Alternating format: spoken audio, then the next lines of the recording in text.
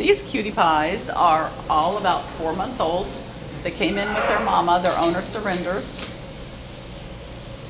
One of them is adopted. I'm not sure which one exactly is adopted. Not a clue. But as you can see, they're quite cute. They're kind of chilled out right now. These cuties. Oh no, what was that noise, huh? Just noise. Just noise.